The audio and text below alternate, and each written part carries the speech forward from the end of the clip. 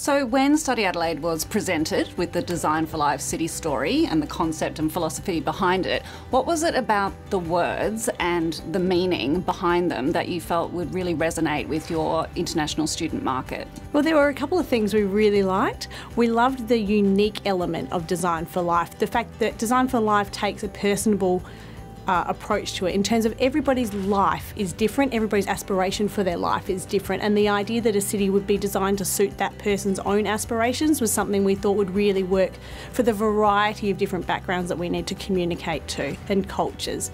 We also liked the fact that it was both gave um, respect to the past and where Adelaide has been in the past, but also look forward to where Adelaide would be in the future.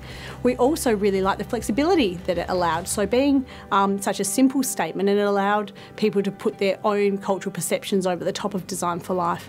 Finally, what really appealed was the fact that it's based on fact. It's irrefutable when you look through the layers of meaning that have built upon Designed for Life and made it the brand proposition that it is, and that we felt was a really strong foundation. So, how has incorporating Designed for Life into StudyAdelaide's marketing proposition added value to how you're speaking to your market?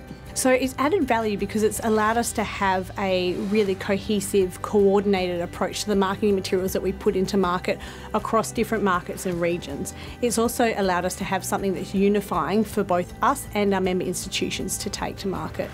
And importantly, it's also something that we've worked with the City of Adelaide on. So therefore, what we're talking about to prospective students before they've arrived in Adelaide also flows all the way through to when an international student is arriving in Adelaide and seeing that it's being promoted here in the city.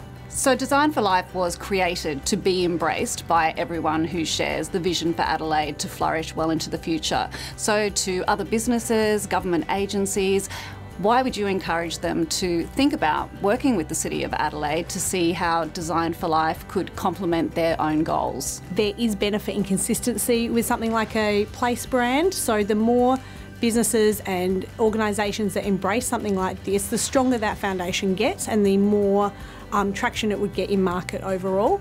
I think also Designed for Life is a flexible platform, so this is not necessarily about changing logos, changing colours, changing how a business presents themselves. It's more about how there could even be a subtle nod in the material that they put out around Adelaide as a place that is designed for life. So I think the flexibility of what's being offered by the City of Adelaide is one of the major benefits of this brand platform.